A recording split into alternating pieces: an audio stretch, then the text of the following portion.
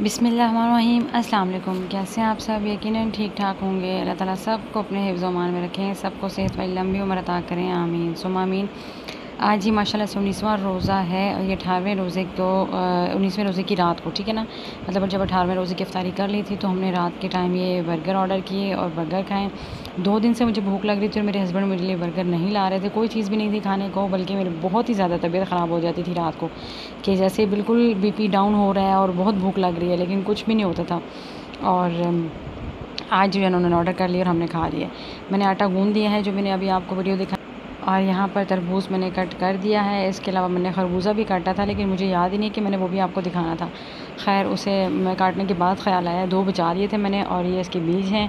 یہاں شربت کے لیے مجھے نہیں پتا کون سا بنانا تھا، اس لیے میں نے چینی گھول دی تھی۔ پہلے ہی مطلب چینی بھی گھول دی تھی، پانی کے اندر ڈال دی تھی۔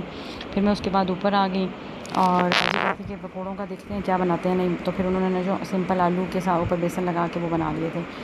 تو پھر میں اوپر آ گئی۔ باجی نے دال بنا لی تھی اور میں نے آٹا گھون لیا، فروٹس وغیرہ کاٹ لیا، شربت کے لیے چینی کھول دی۔ اوپر آ کے پھر میں نے صفائی کی اور یقین کریں ٹینکی اتنی گرم ہے اور پانی اتنا ابلتا ہوا آ رہا ہے یہاں اوپر اور شدید قسم کی گرمی، شدید جسے کہتے ہیں نا، وہ گرمی ہے۔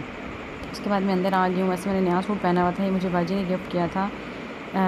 یہ شرٹ اور دو جو دوپٹہ تھا، اس کا میں ابھی آپ کو دکھاتی ہوں۔ مجھے خیال ہے کہ لائٹ تو آن ہی نہیں میں نے کی، اور ہم لوگوں کو دکھ کیسے رہا ہوگا۔ تو بڑا پیارا سا سوٹ ہے، یہ یہ میں نے دو تین جمعے سے پہنا ہوا ہے، ٹھیک ہے۔ تو اب بہت زیادہ گرمی لگ رہی ہے اور نئے کپڑوں میں تو ویسے ہی گرمی بہت زیادہ لگتی ہے۔ تو میں سوچ رہی تھی کہ میں اب جو ہے نا نہا لوں، تو اب پلان یہ کہ افطاری کے بعد ان شاء اللہ تعالیٰ چینج کروں گی اور دوسرے کپڑے پہنوں گی۔ یہاں پر آپ دیکھ سکتے ہیں کہ بہت پیارا سا سوٹ ہے۔ یہ شرٹ اور جو اس کا جو دوپٹہ تھا نا، وہ اس کا ٹراؤزر کے لیے لائی تھی باجی کپڑا۔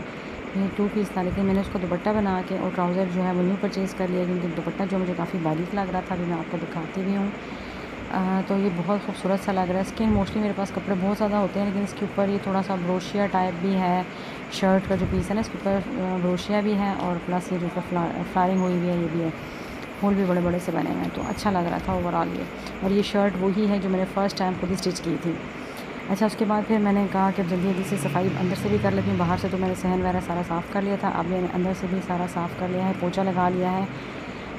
اور اب آئندہ کے بعد یہی کروں گی کہ ہلکا پھلکا سا گیلا کپڑا زمین کے اوپر پھیر لوں گی، اس سے یہ فائدہ ہوتا ہے کہ کیونکہ اندر تو ہماری صرف ڈسٹ ہی ہوتی ہے اور وہ میں جھاڑو لگا لگا کے اور ہی خراب کر رہی ہوتی ہوں جھاڑو کے اور تنکے گر رہے ہوتے ہیں اور گند اور پیدا ہو رہا ہوتا ہے۔ ہلکا سا ایک کپڑا لگایا میں نے بھی کپڑا بھی آپ کو دکھا دیتی ہوں۔ اس کے بعد میں اس پورشن سے لگاؤں گی اور اپنے دوسرے والے روم سے لگاؤں گی۔ اور ڈسٹنگ میں جو افطاری کے بعد کروں گی، لیکن اب افطاری کے بعد میں بلاگ کی ایڈٹ ایڈیٹنگ کر رہی ہوں اور یقین کریں ہمت بالکل نہیں ہے اور کچھ عجیب بھی حالت ہو رہی ہے۔ تو مسلمانوں کی طرح لیٹ ہوں اچھا جی ہماری طرف بہت بہت گرمی ہے۔ پلیز دعا کریں کہ یہاں پر بھی اللہ پاک کا کرم ہو جائے۔